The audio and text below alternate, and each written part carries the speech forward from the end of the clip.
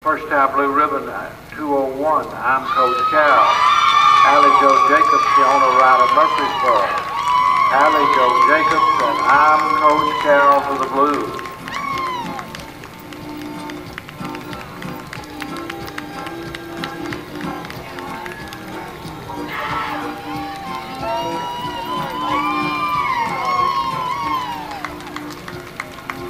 Oh, let's take a look at Allie Joe Jacobs.